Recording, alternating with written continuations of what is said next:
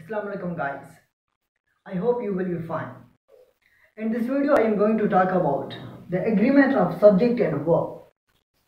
ये जो टॉपिक है agreement of subject and verb ये बहुत ही इंपॉर्टेंट टॉपिक है स्पेशली ये डिफरेंट यूनिवर्सिटीज़ के एंट्री टेस्ट एंट्रेंस टेस्ट के अंदर डिफरेंट क्वेश्चन अपीयर होते हैं इस सब्जेक्ट इस टॉपिक से and specially C S S aspirant के लिए प्रेस इन कंपोजिशन जो पेपर है, उसके अंदर भी दस बीस मार्क्स का इस तरह का क्वेश्चन आता है कि करेक्ट द सेंटेंसेस वो गलत सेंटेंसेस दिए होते हैं, उन, उनको सही करना होता है। उस, क्या मिस्टेक्स होती हैं? डिफरेंट सब्जेक्ट एंड वर्ब की मिस्टेक्स होती हैं। उनको भी करेक्ट करना होता है। तो अगर आप लोग ये सब्जेक्ट एंड एग्रीमेंट के बारे में आप लोगों को पता होगा तो you will be able to solve those question and you can be able to pass the entry test too right तो आइए हम देखते हैं कि agreement of subject and verb होता क्या है। फ़र्स्ट ऑफ़ ऑल देखो, इस सेंटेंस के अंदर सब्जेक्ट एंड वर्ब दो चीज़ें हैं। हमें पता है कि सब्जेक्ट वो चीज़ है सेंटेंस के अंदर the doer of any action is known as the subject जो काम करने वाला बंदा होगा सेंटेंस के अंदर, उसको हम बोलेंगे सब्जेक्ट है। और जो काम होगा, उसको हम बोलेंगे, ये वर्ब है। हम लोगों को बहुत ही केयरफुल रहना है कि अब इन दोनों को सेटिस्फाई करना है। सब्जेक्ट को वर्ब के साथ सेटिस्फाई करना है। इसी तरह ना हो कि सब्जेक्ट कोई और दे दें और वर्ब कोई और हो। सब्जेक्ट कोई और हो और वर्ब कोई और हो। बिल्कुल मैच ही ना करें। तो हम लोगों को बहुत ही केयरफुल रहना है कि इन लोगों की एग्रीमेंट होना मस्ट है। क्योंकि अगर किसी बंदे को, एक बंदा जो है, वो सारा दिन पढ़ाई में लगा रहता है और उसको बोले कि आज जाके मजदूरी कर। तो बहुत ही मुश्किल हो जाएगा उस बंदे के लिए। तो आप लोगों को इधर भी बहुत केयरफुल रहना है कि अगर सब्जेक्ट और वर्ब को भी एग्री करना है दोनों को।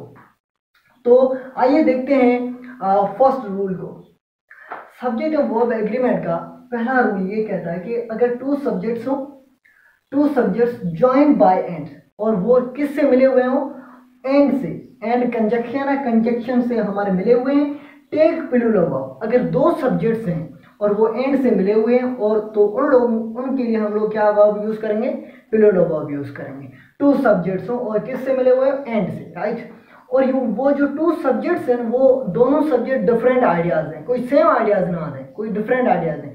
जिस तरह gold and silver gold and silver यहाँ पे gold and silver both are different things both are different things right तो यहाँ पे दो सब्जेक्ट्स हैं, जब एक और दो मिल गए, ये पिलोरा बन गया।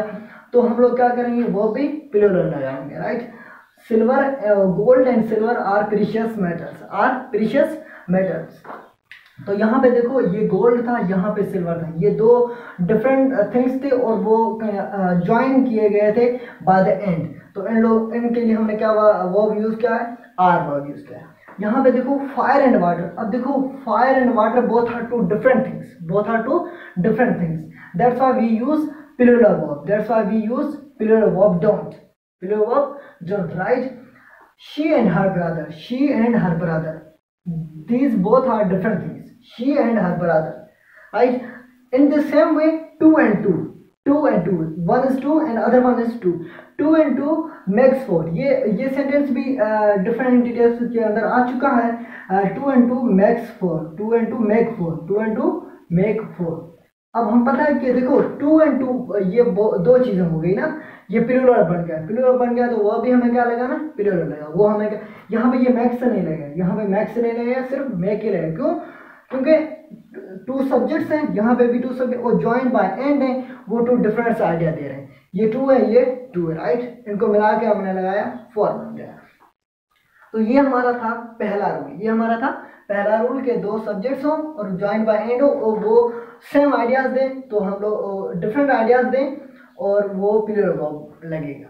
उसके बाद देखते हैं two two subjects join by and show the same idea यहाँ पे डिफरेंट आइडिया तो यहाँ पे सेम आइडिया अगर दो सब्जेक्ट्स हो और join by and and give the same idea same idea या वो सेम ही चीज़ें हो या सेम आइडिया दें तो हम लोग उनके पीछे कौन सा वर्ब लगाएँगे? सिंगुलर वर्ब लगाएँगे।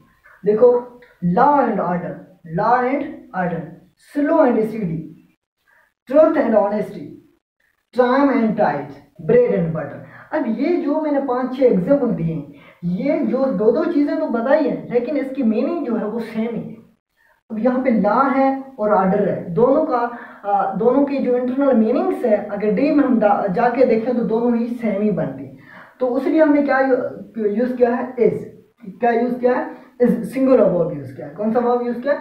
Singular verb slow and steady wins the race यहाँ पे कौन सा वर्ब यूज़ किया है? Singular verb singular verb use किया है। एस वाला।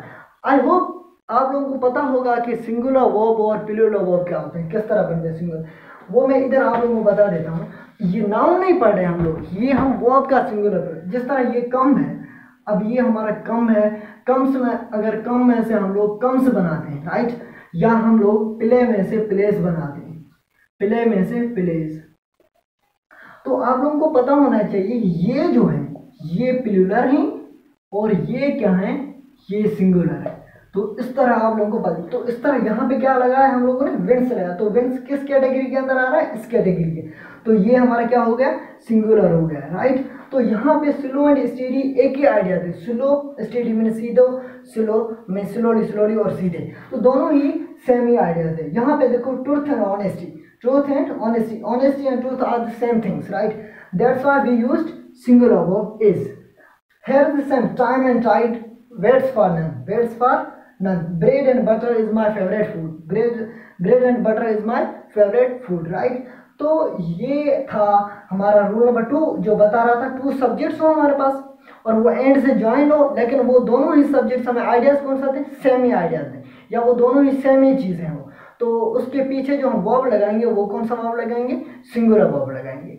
इधर दो प्लूर दो सब्जेक्ट थे, और वो डिफरेंट आइडियाज़ दे रहे थे तो हम लोगों ने क्या वर्ब लगाया था? प्लूरल वर्ब लगाया था। I hope you now you will be very much clear about these two major rules of subject and verb agreement. Now we talk about two other different rules of subject and verb agreement. So first rule defines that some nouns are plural in form but singular in meaning. Take the singular verb. हमारे पास कुछ इस तरह के subjects होते हैं जो दिखने में प्लूरल लगते हैं लेकिन वो उसकी मीनिंग जो है वो सिंगुलर होती है। तो उसके जो, उसका जो वर्ब लगेगा वो भी सिंगुलर लगेगा। Some nouns plural in form but singular in meaning they always take singular verb किस तरह? देखो, यहाँ पे हमारा एड्स है एथिक्स है पॉलिटिक्स है फिजिक्स है वेजिस है इन न्यूज़ है मैथमेटिक्स है। अब ये जो वर्ड्स हमें, ये वर्ड्स दिखने में तो प्लूरल लग रहे हैं, लेकिन एक्चुअली में ये हैं सिंगुलर तो एक्चुअली में जब सिंगुलर है तो इसका वो भी कौन सा लगेगा? वो भी सिंगुलर लगेगा। तो देखो, यहाँ पे mathematics is the branch of study in every school in every school यहाँ पे मैथमेटिक्स हमने लगाया, लेकिन मैथमेटिक्स ये प्लूरल लग रहा है, लेकिन एक्चुअली में मैथमेट मैथ्स एक सब्जेक्ट है, एक ही सब्जेक्ट है। तो उसको बोले मैथमेटिक्स इज़ राइट यहाँ पे इल न्यूज़ इल न्यूज़ बुरी खबर। अब बुरी खबर एक ही है, एक ही बुरी खबर राइट तो ill news spreads fast, ill news spreads fast right तो यहाँ पे इल न्यूज़ हमने सिंगुलर इसकी दिखने में प्लूरल था, लेकिन एक्चुअली इसकी मीनिंग जो थी वो सिंगुलर थी तो हमने वो भी कौन सा लगाया? Singular ill news spreads fast. यहाँ पे हमने कहा mathematics is the branch of study in every school in every school तो यहाँ पे आप ये जो भी वर्ड्स हैं नेम ऑफ़ सब्जेक्ट्स हैं नेम ऑफ़ डिज़ीज़ हैं नेम ऑफ़ हमारे पास स्पोर्ट्स हैं जो भी हम हैं इस तरह के आ, तो उनके पीछे हम जो वर्ब लगाएँगे वो कौन सा वर्ब लगाएँगे? सिंगुलर वर्ब लगाएँगे। उसके बाद रूल नंबर टू हमें क्या बताता है? रूल नंबर टू है some nouns plural in form कुछ नाउन प्लूरल इन फॉर्म होते हैं लेकिन वो एक्चुअली में होते भी प्लूरल हैं। एक्चुअली में होते भी प्लूरल हैं। क्यों क्यों प्लूरल होते हैं? क्योंकि वो दो पार्ट्स पे कंसिस्ट करते हैं। दो पार्ट्स पे राइट जिस तरह हमारे पास इधर ग्लासेस हो गया, यहाँ पे सीजर्स हो गए, यहाँ पे पेंट्स हो गए, ये इस तरह के नाउन्स हैं जो दो दो पार्ट्स पे कंसिस्ट करते हैं। जिस तरह ग्लासेस ग्लासेस का मैं आप लोगों को दिखाऊँ कि किस तरह ग्लासेस दो पार्ट्स पे कंसिस्ट करता है। अब देखो, ये हमारे पास ग्लास ग्लासेस हैं राइट इसका एक पार्ट यहाँ से लेकर ये हो गया। और दूसरा ये पार्ट होगा अब ये बीच यहाँ से ये मिले हुए हैं। एक बन गया।